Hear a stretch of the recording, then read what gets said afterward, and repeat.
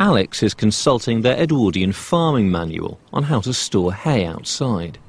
It recommends building a hay rick. So we've managed to acquire the most up-to-date version of the Book of the Farm to help us through the year. And I'm just looking at some of the uh, hay ricks, or hay stacks as it's called here. Um, I'm quite interested in uh, the, the, the shape of this one, which is very much what we're trying to achieve.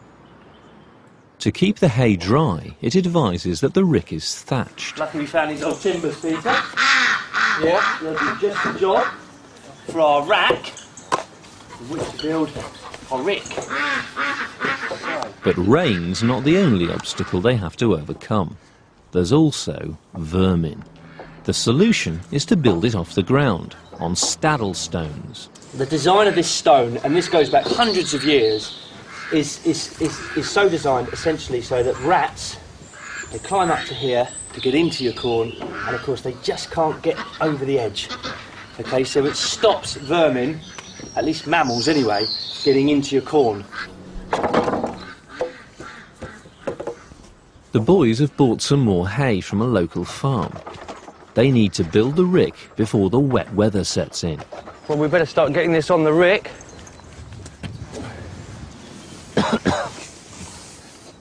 if the hay gets damp, indeed if it gets saturated and we can't dry it out, it's quite simple, it rots. It loses all of its nutritional value. So it's, it's, uh, it's next to useless. So that's a disaster.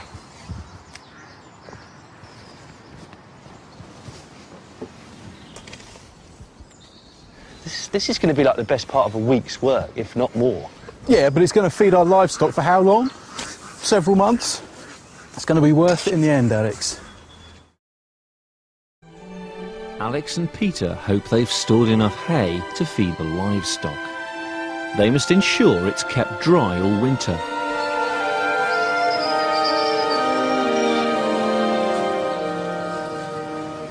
You've got the old book of the farm there. Edwardians would have thatched a rick, rather like a cottage. Hello, Keith. Good to see you again. Thatchers Keith Payne and Bill Liversidge have come to help. Nice to see you.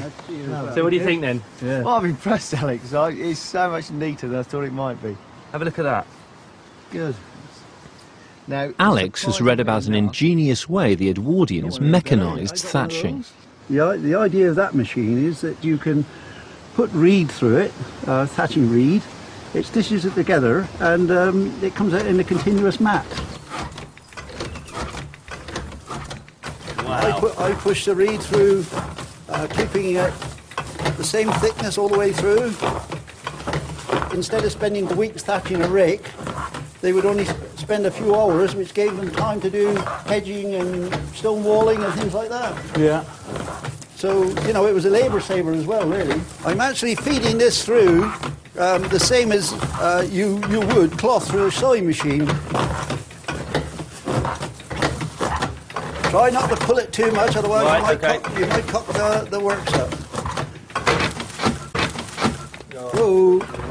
Oh dear, Bill. Sorry, I've um, just taken my eye off the ball here a second, and we've dropped the stitch. Well, you, you really have got to concentrate on what you're about, man. Otherwise, uh, if this comes undone on the rick, we, we, we're going to have a, a, a wet, wet spot on the rick. So Yeah. if you could pay attention a bit more and I'm sorry, Bill. Stop looking around.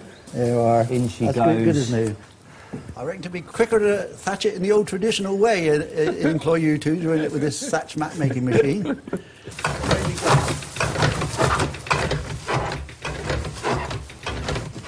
Here's the end. The thatch making machine has produced enough matting to cover the rick. further this way. Now the tricky part attaching it. Right, with these pegs, Alex, we want two along this edge. Okay. In here and in there. Yeah, I'm going to twist them in the middle so they become like a grip. Yeah. Double twist. Nice and soft on your hands then. Yeah. Points upwards, okay. Then it doesn't course water into the middle of the stack. Sort of coming in like that. Coming yeah? on that top string and try catch that string with the first one. Yeah, nice like uphill. Yes. Going uphill. Yeah. Drive them in with your hands. Got them in there like that. Lovely. And then, And then- give them the last tap.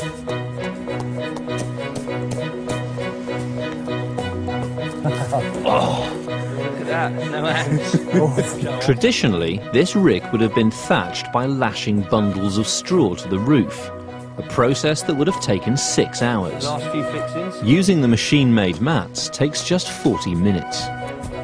Oh, there we go. One waterproof rick. Well, lads, you've done an excellent job.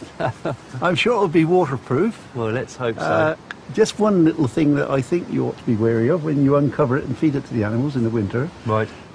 Just be aware of the, the spores, the white spores that come out, because it will give you a thing called farmer's lung, Right. and it will give you breathing problems in the in the future. So Right. I would suggest that when you uncover it, you do wear a mask. But other than that, I'm sure it will stay nice and dry, and the animals will appreciate it in the winter. You, the hard work you put into it. Back in September, Alex and Peter built a hayrick to feed the cattle through the winter months. Case of finding out whether the hay is edible. Now the cows are feeding on grass, they've got a surplus of hay. I know it's been quite. Edwardians would have sold this. So Alex has asked Devon farmer Francis Mudge to assess its quality. It's, it's smelling nice, yeah. They eat that all right.